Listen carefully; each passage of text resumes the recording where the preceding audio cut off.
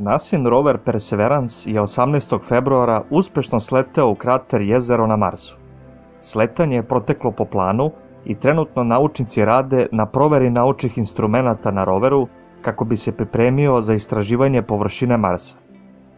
Dobrodošli na kanal posvećen nauci i astronomiji, gravitacioni manevar.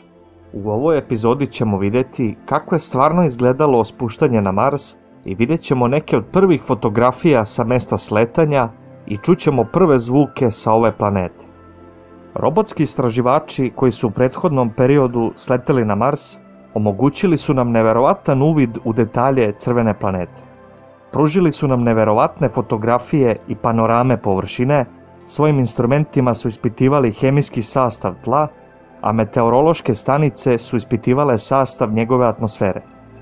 Jedino što do sada nikada nismo saznali o ovoj planeti jeste kako ona zvuči. Nasine dve prethodne misije ka Marsu su imale mikrofone i to je polarni sletač na Mars i sletač Phoenix, ali oni nažalost nisu vratili prve zvuke sa Marsa. Polarni sletač na Mars je prva sonda koja na sebi imala mikrofon, ali je prilikom sletanja 1999. godine došlo do problema sa telemetrijom, zbog čega je sletač pao na površinu brzinom od 80 km na čas. Drugi nasim pokušaj da pošalje mikrofon na Mars bio je na sletaču Phoenix, koji je uspešno sleteo tokom 2008. godine. Planirano je da sletanje bude zabeleženo putem kamere i mikrofona, ali ti instrumenti nikada nisu uključeni. Prilikom provere instrumenta na zemlji, inženjeri emisije su pronašli softversku grešku koja mogla da ugrozi sletanje i ovi instrumenti su preventivno isključeni kako bi Phoenix bezbedno sleteo na Mars. Jedini mikrofon koji je delimično funkcionisao na drugoj planeti jeste onaj na sovjetskoj sondi Venera 14 kada su snimljeni zvuci vetra, ali je signal bio prepun šuma i snimak je izuzetno loše kvaliteta. Nasina misija Mars 2020 je najnoviji pokušaj slanja mikrofona, ali ovaj put su konačno uspeli. Prilikom krstarenja ka Marsu, inženjeri su testirali mikrofon i zabeležili su ovaj zvuk.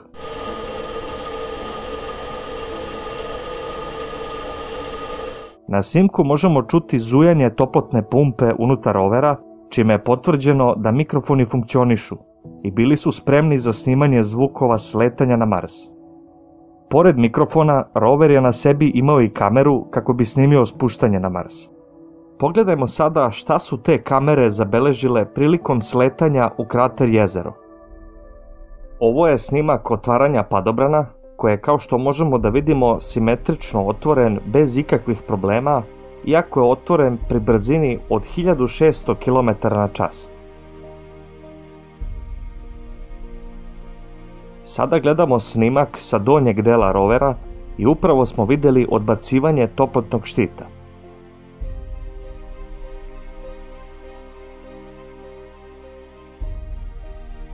Ispod vidimo fantastičan pejzaž kratera jezero, dok letelica postepeno usporava pod padobranom.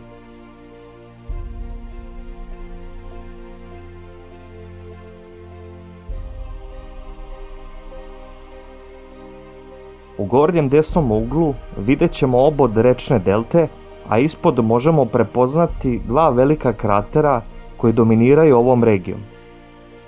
Između tih kratera nalaze se peščane dine koje su potencijalno opasne za sletanje i rover će pokušati da izbegne tu oblast.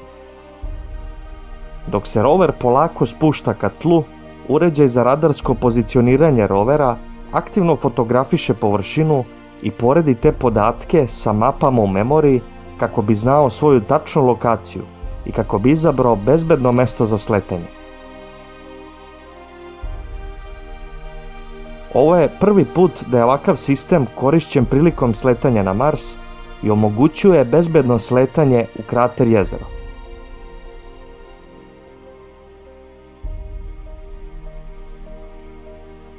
Raketni kran sa roverom će se za nekoliko sekundi odvojiti od padobrana i odpočet će manevar skretanja kako bi se udalio od njega. Sa desne strane vidimo litice oboda rečne delte koju će rover istraživati tokom misije.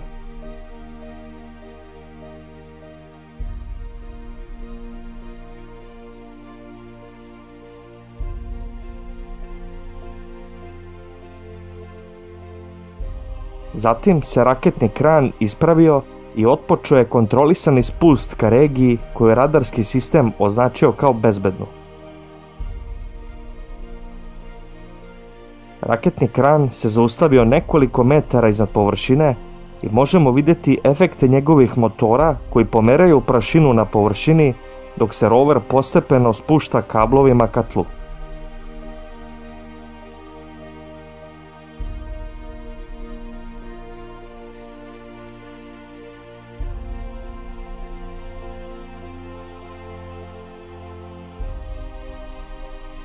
Sada gledamo snimak sa raketnog krana koji je snimio spuštanje rovera.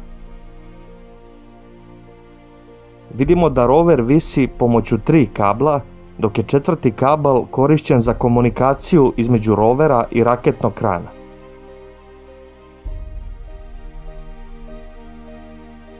Sada gledamo istu sekvencu, ali iz ugla rovera koji gleda uvis ka raketnom kranu. Primećujemo da motori raketnog krana nemaju plamenove, što je za očekivati na Marsu. Vidimo veliku količinu prašine koja je podignuta prilikom sletanja, kao i moment kada su kablovi prekinuti, dok se raketni kran udalio od rovera i pao na površinu nekoliko stotina metara dalje.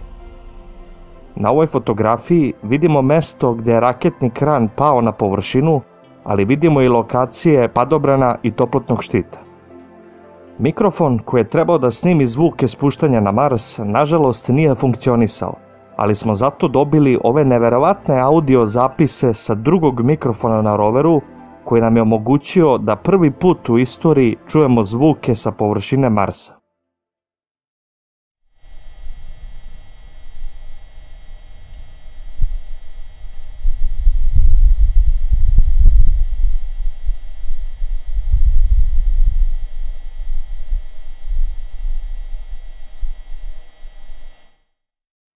Zar to nije bilo neverovatno?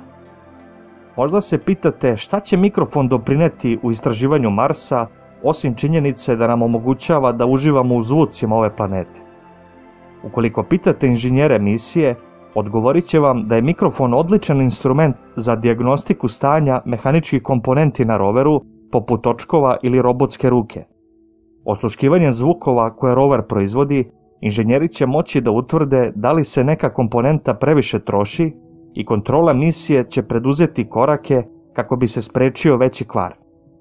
Ukoliko pitate naučnike misije, reći će vam da je mikrofon izuzetno korisna alatka ukoliko se koristi u tandemu sa drugim naučnim instrumentima. Dobar primjer je korišćenje mikrofona zajedno sa instrumentom Supercam. Ovaj instrument će ispaljivati laserski zrak ka steni na udaljenosti do 12 metara i putem spektrometra će se analizirati rezultujući gasovi kako bi se utvrdio hemijski sastav stene.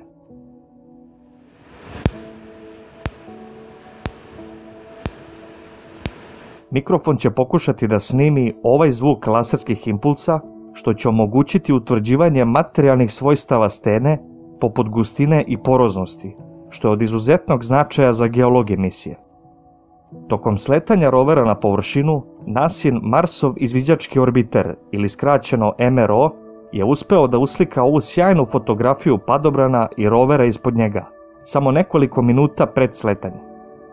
Rover je uspeo da se spusti maltene u sam centar predviđene elipse sletanja, što je neverovatna preciznost, imajući u vidu pređeni put od preko 480 miliona kilometara.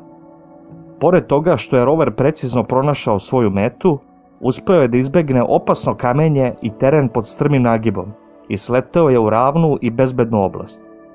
Na ovoj mapi kratera jezero, koju su naučnici napravili korišćenjem fotografija iz orbite Marsa, crvenom bojom su obeležene opasne zone za sletanje, a plavom bojom bezbedne zone.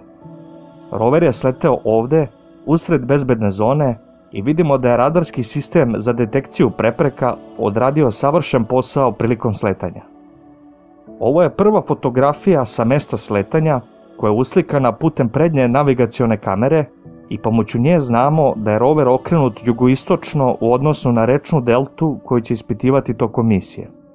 Na fotografiji sa navigacione kamere na zadnjem delu rovera u daljini možemo vidjeti obod delte koja se izdiže oko 100 metara iznad dna kratera. Na ovoj fotografiji prednjeg desnog točka rovera možemo vidjeti porozne stene koje su odmah zainteresovale geologe misije.